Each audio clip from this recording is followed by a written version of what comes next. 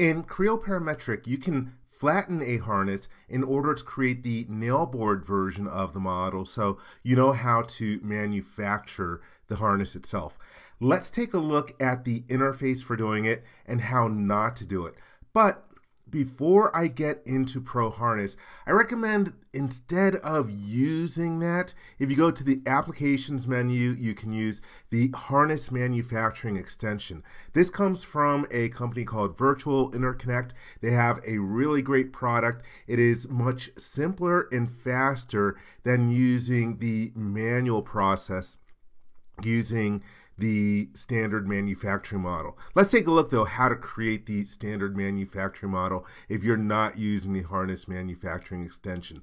And by the way, I don't have a license for the required version of the harness manufacturing extension in order to flatten this. I just have the light version which restricts the number of components that you can use and here I get a little warning message and says, hey, this particular harness has 26 cables and 34 conductors. I would need to get the appropriate license in order to use HMX in order to do this. But again, I highly recommend the product from Virtual Interconnect. Now let's take a look at how to do it in the standard way in the cabling module. So here I have my cable harness. You can see the different connectors. We can see the different wires in here. To start off the new flattened harness, you'll go to the File menu and then choose New. You could also use the new icon or Control N. Here in the new dialog box, we're going to change the model type from the default part to manufacturing. Here are the different subtypes, and you're going to choose the subtype for harness. And then we're going to give a name for the manufacturing model. Usually I name it the name of the harness, and this is harness underscore 2364, and then flat. And then you could write in a common name if you want, but I'm just going to click the OK button. And now it's asking what harness do you want to flatten inside of here. So we're going to change, I'm going to use the subtype all down to harness to figure out, okay, here's the harness that I have in my folder. Let's click the open button. And now it asks you for the name of the harness, what simplified representation you want to use. And I would say that 99.9999% of the time, I would use the master rep. I actually can't think of a reason why I would use a simplified representation. We'll click the open button, and then you're going to be prompted to create a flat harness assembly model. And I'll show you that in the model tree in a moment. Your different flattened features are going to be assembly level features. And the reason that you have an assembly inside of the manufacturing model is because you later on can add the different connectors from the cable harness assembly in there as well. And so for this case over here, I think it was like harness 2364. And I'll just call this the flat assembly. And again, you could add a common name. You could uncheck using the default template, but I will use the default template.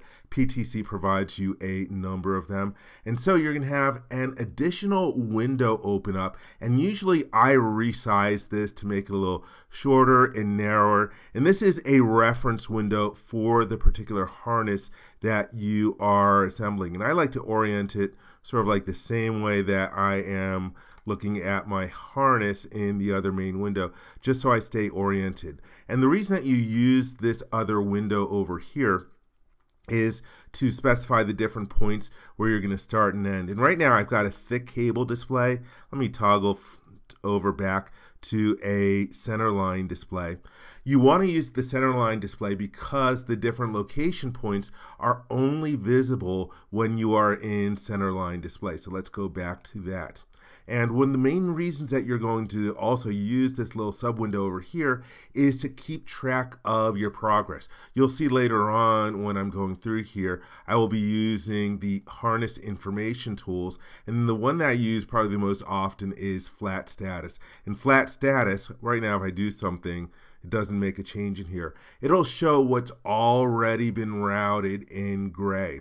Now, one other thing about this, I've got some gray wires in here and I've got some white wires. I'm using a white background. What I probably want to do at this point before I do anything else is change the color of my background. So you can go to File, Options, and then System Appearance. I'm going to expand the graphics group underneath global colors. And here's the background, and I'm going to try to change it to something that will give me a nice contrast to the different colors in here. Now when I choose that, I can see, okay, there are the different white wires. Here are some of the different gray wires. If I left in the white background, I would not be able to keep track of my progress through here. For starting out to flatten this, you will use the flatten command out of the menu manager. And beware, I know people are going to complain about this and have issues with this.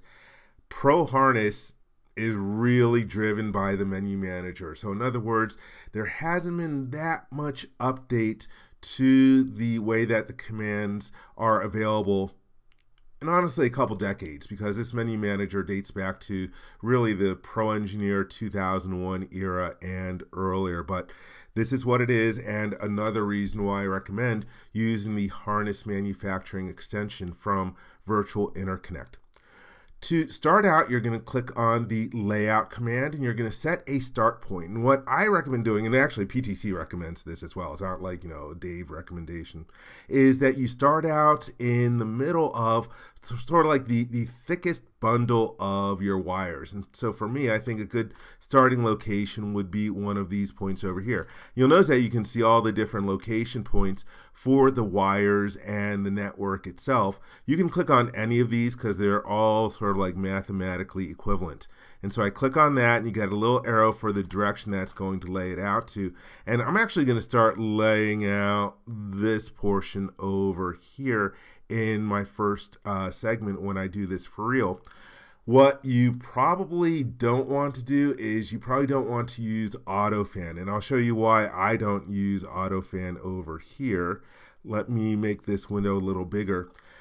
The reason that AutoFan is going to have some problems is that also this particular harness, uh, I got an XML file from an old PTC dataset. These have some loops in here. And what I mean loops is where you have sort of these triangles over here where the wires can go this direction, they go this direction, and they also go across over here. And these loops are, are pretty nasty for flattening out your wire harnesses. And again, I think there's there's a few of them in here, and eh, not too bad over here.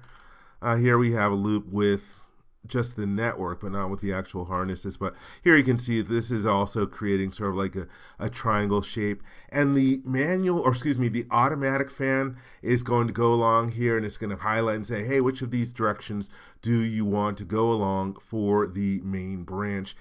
And honestly, the AutoFan usually doesn't end up generating what I want. But let's take a look at what happens when we do the AutoFan now it's asking for the bend radius that we want to use.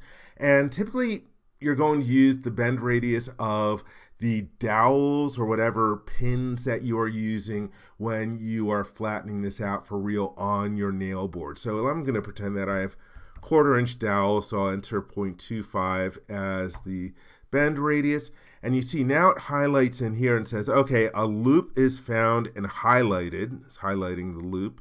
And it says, Select a location, on, or excuse me, uh, please select the path on which you want to flatten. And so I'm going to flatten along over here. And so then it highlights, it's like, okay, again, it's like, which one do I want to go along? Let's select over there. And then it's like, okay, we've got another one over here. And part of the problem that I also have with the AutoFan is like, it's highlighting this stuff here. And right now I just have to sort of guess like what I'm supposed to select and I'll be honest, I'm not the best person at flattening harnesses. Uh, let's see, it asks me which way do I want to go over here. Uh, let's go along this one over there. And then it's like, hey, which one do you want to go over here? I don't know, I'll pick that one. And then it's got these different paths over here. Which way do we want to go? I don't know, this one? And so now it's calculating And so there we go. And here we have what we got automatically. It had to pull in a couple of the different connectors. So again, this is why you have an assembly model in the manufacturing model. So for example, if I scroll down in here, you can see all the different assembly level features that were created. And then scrolling down, here are a couple of the components from the cable assembly that were extracted as well that were necessary in order to flatten this out over here. But like I said, I take a look at this and I would probably have to go to the move segment command or use the modify command to get this oriented the way that I want because frankly I, I, I don't like how this got flattened out over here automatically and if I gave this to my manufacturers they would probably be like what are you doing why do you have a job? So anyhow, that is is what I got with the automatic method. Let me, I'm going to close out of here. Let me go to the view tab and then close this. All right, so I closed the window of the first attempt I did at this. Let's erase not displayed to get rid of this and then start over again. Uh, let me start over from the harness model itself. So once again, we'll go to new and change to manufacturing, change this to harness. Let's call this harness 2364 and then flat and I'll click the OK. One thing I want to mention about this manufacturing file that ends up generated, being generated, it's going to have a .asm extension. If you're using older versions of Pro Engineer, like from the Wildfire days or earlier, or if you have manufacturing models that were created in those older versions, they're going to have a .mfg extension instead. So let's click the OK button. And now for the harness. And by the way, if you uh, for the harness, let's change this again to harness so I can quickly get to the harness part, use the master rep, and let's create our assembly that's going to go inside of the manufacturing model. And click the OK button. And again, I recommend resizing this window and making sure that the model's oriented the way that you want it to be when you're starting out the flattening process. So now this time I'll go back to flatten. Let's choose layout. And again, I'll set the start point at the same location. And so we get our arrow in here.